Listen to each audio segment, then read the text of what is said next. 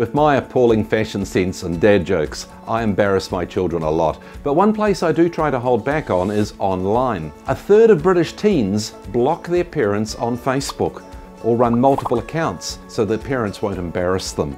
Embarrassing pictures are the top offence. Today's young people are actually very concerned about their online privacy and they're not grateful for all those pictures you've posted of them over the years. So if you've got children, even young children, think before you post any pictures.